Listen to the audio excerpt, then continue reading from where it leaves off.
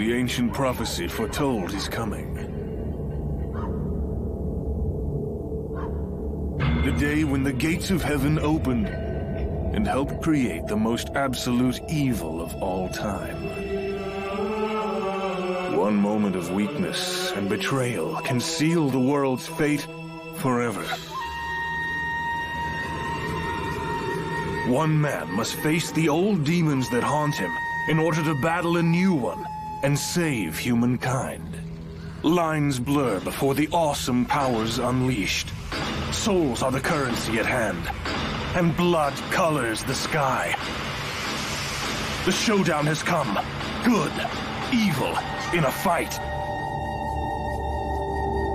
To the death.